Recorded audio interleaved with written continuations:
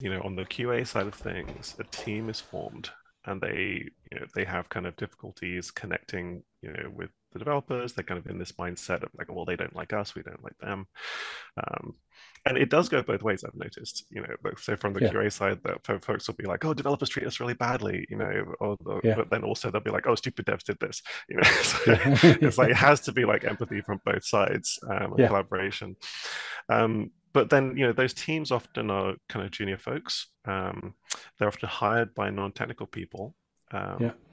and maybe don't have a strong skill set in product development you know which yeah. is really if you're building a test framework for the purpose of achieving a goal you know of having people adopt a certain practice that's this really is a product that you're making you know and you can you need to understand yeah. your market and when the put things out and iterate and test with the market. Um, yes. So I think that like the it's just I've seen again and again this pattern of um, you know a team is formed and they think their job is to write a test framework.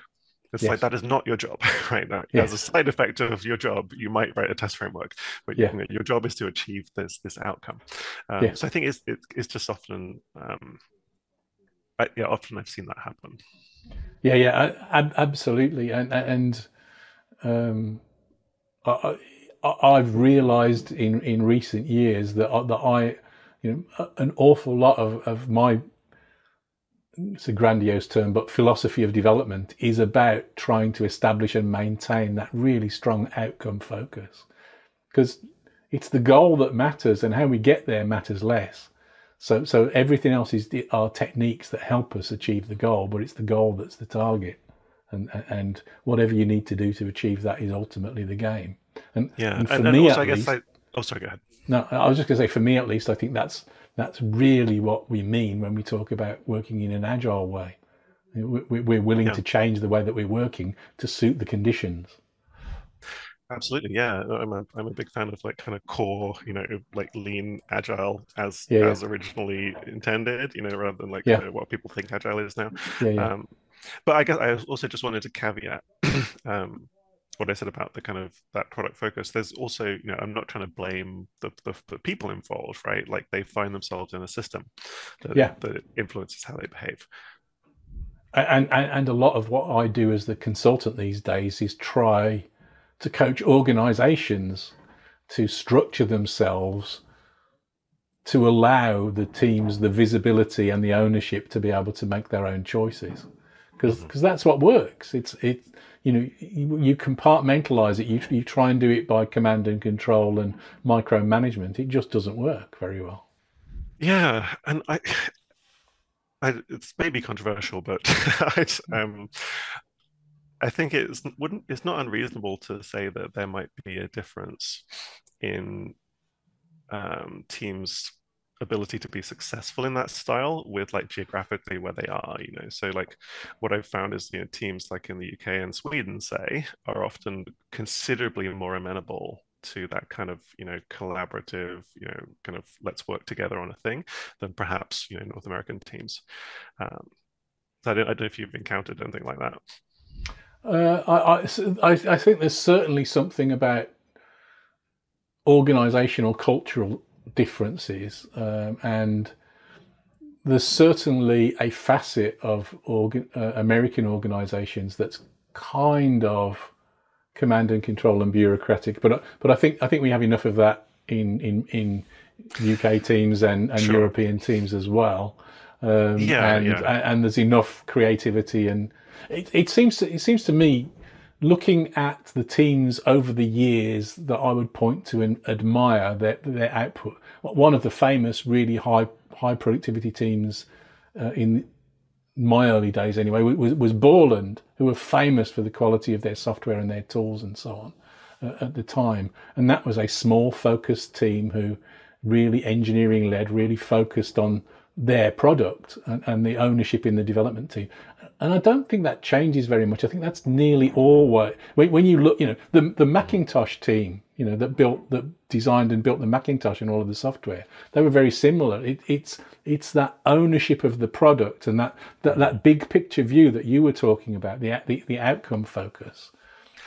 That's that quite quite a yeah. difficult thing to establish, and and it's very very easy. It's quite fragile, so it's very easy to break it with the wrong organisational culture or structure. Mm-hmm.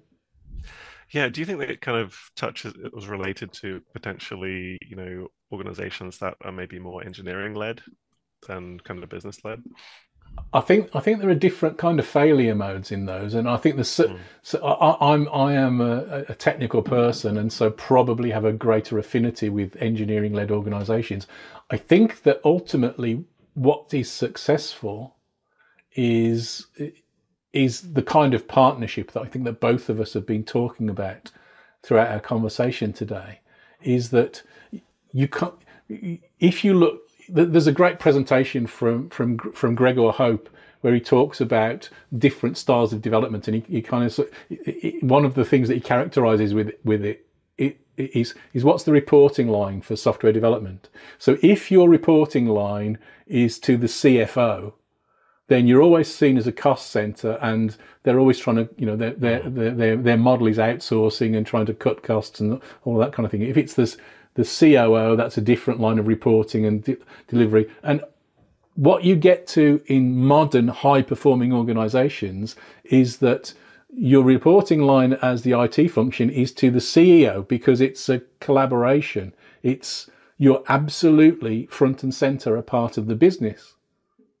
Uh, I was talking to one of the banks, uh, the, CT, the senior CTO of uh, one of the uh, banks that was a big adopter of continuous delivery a few years ago.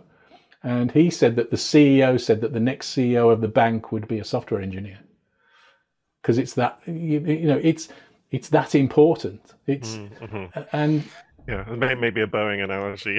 yeah, yeah, yeah, yeah, yeah. So, so, so, so I, I think as engineers, we, we we can tend to fail by by you know, chasing after um, castles in the sky and beautiful designs too far and so on. So we've got to keep that outcome focus, including the economic constraints under which we're operating, which I think was something that you touched on earlier.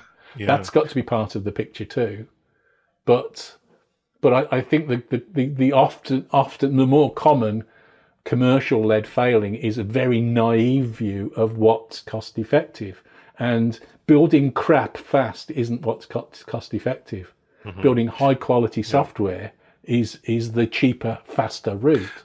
Right. Yeah. Well, I guess kind of coming back to like the the system that people find themselves in, which is kind of where I was going with like the yeah. kind of geographical comparison, is yeah. that you know, it seems like at a certain point, uh, you know, often these things will start with you know someone who's passionate about improving right? Yes. And then and, and, often they'll they'll maybe get the opportunity, uh, you know, to do something great, and they'll they'll do talk about it, and then you know, kind of maybe and eventually maybe it kind of comes up against someone who's saying like, you spent how many developer hours doing yes. this? Where's what, what value did that produce? Um, yeah. Which is, and it's like, of course, it, of course, it produced value, but maybe at the kind of higher levels of this, one of the very important skills is being able to articulate that value and like really yes. um, uh, make it a business value. This clip was taken from my podcast, The Engineering Room with Dave Farley, a monthly podcast with some of the brightest minds in software engineering. You can find full episodes on all your favourite podcast platforms, including Spotify, Apple Podcasts, and Amazon Music. Your support helps us to bring you these regular episodes, so please leave your positive review on your preferred podcast platform to help us to continue to grow and bring you great guests and their insights. Thank you very much for listening.